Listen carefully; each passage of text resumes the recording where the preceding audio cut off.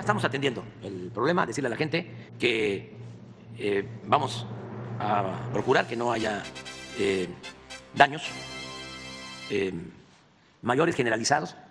Ayer, como lo mencionaste, fueron tres, cuatro estados y fue media hora, porque se está controlando. El martes, como fue sorpresivo, hubo una demanda superior a la capacidad que se tenía generando, pues sí se afectó más.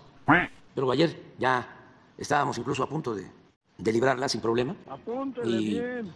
hubo también más aumento de temperatura eh, y más demanda, más de mil megawatts adicionales. El martes, mil más, y ayer mil más.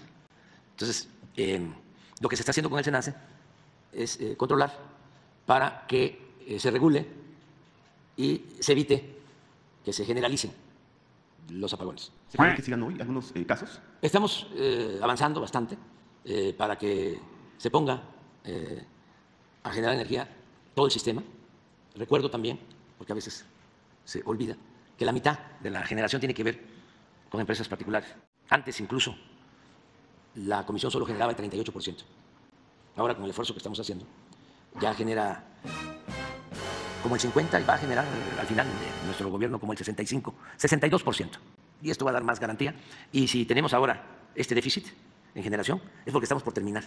Se nos demoraron algunas plantas de ciclo combinado, pero se está trabajando y ya pronto se va a regularizar y se resuelve el problema hacia adelante. O sea, es un asunto transitorio, ya lo estamos atendiendo.